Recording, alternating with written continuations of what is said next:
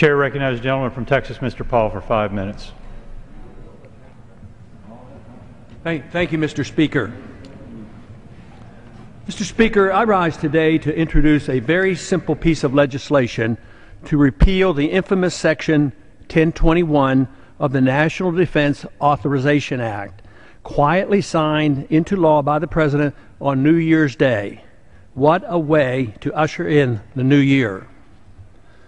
Section 1021 essentially codifies into law the very dubious claim of presidential authority under, 10, under 2001 authorization for the use of military force to indefinitely detain American citizens without access to legal representation or due process of law.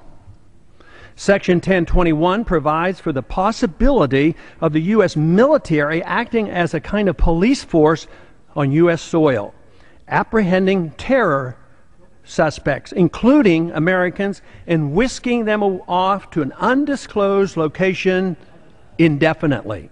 No right to attorney, no right to trial, no day in court. This is precisely the kind of egregious distortion of justice that Americans have always ridiculed in so many dictatorships overseas. A great man named Solzhenitsyn became the hero of so many of us when he exposed the Soviet Union's extensive Gulag system. Is this really the kind of a United States we want to create in name of fighting terrorism? Some have argued that nothing in Section 1021 explicitly mandates holding Americans without trial, but it employs vague language, radically expanding the detention authority to include anyone who has substantially supported certain terrorist groups or associated forces. No one has defined what those ter- terms mean. What is an associated force? Sadly, too many of my colleagues are too willing to undermine our Constitution to support such outrageous legislation.